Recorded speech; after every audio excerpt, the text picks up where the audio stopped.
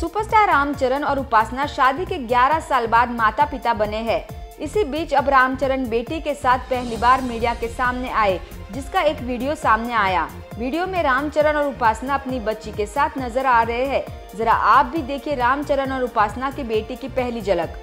Video में रामचरण और उनकी पत्नी उपासना अस्पताल से बाहर निकलते हुए दिखाई दे रहे हैं। दोनों ने बेटी के साथ स्माइल करते हुए पॉज भी दिया। रामचरण और उपासना के फैंस भी उनको बहुत सारी बधाइयाँ दे रहे हैं। मुंबई से विदिता प्रताप नेशन नाउ